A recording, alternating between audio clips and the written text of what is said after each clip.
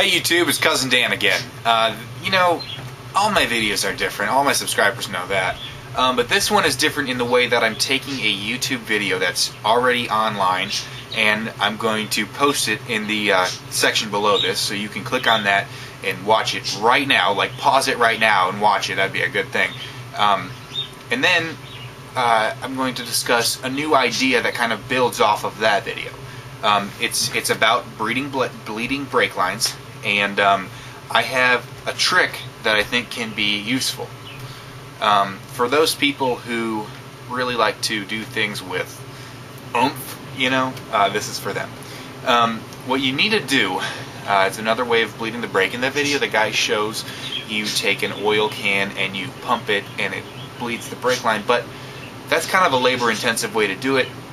Also, this way is more fun you take the bleeder valve on the nearest brake caliper, since they use kind of the same res their same reservoir, the, almost the same system, and you and you put a tube, the same kind of tube as he shows in the video, off of that bleeder valve from the nearest brake caliper to the actuating cylinder or the slave cylinder of the clutch, and you link the two. You loosen both bleeder valves and you link the two with a hose.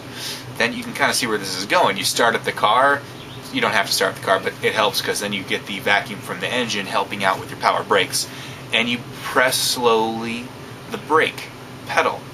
And what happens is your brake system forces fluid down to that caliper and straight out the bleeder valve. Well, it's going through the tube into the bleeder valve of the um, clutch master uh, slave cylinder. And you're actually going to bleed backwards and the bubbles are going to go up towards the reservoir. Make sure your clutch pedal is all the way out, otherwise it can't get past the uh, master cylinder and that is bad. You'll probably just break your tube or something like that. Um, but it actually pushes it up. If you run out, uh, you can actually just kink the hose, like if, if your pedal gets all the way to the floor before the bubbles come out the top, you can kink the hose that's connecting the two cylinders, the two bleeder valves, and then let the brake pedal out and then unkink the hose and press it down again until you get all the fluid out, all the bubbles out, and you actually use your power brake system in a full loop to bleed your clutch.